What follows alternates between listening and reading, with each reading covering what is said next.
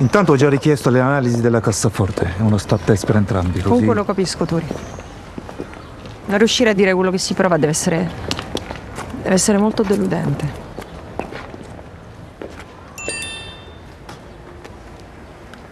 Ciao, so che non vuoi più vedermi, ma se stasera provassi a farti cambiare idea?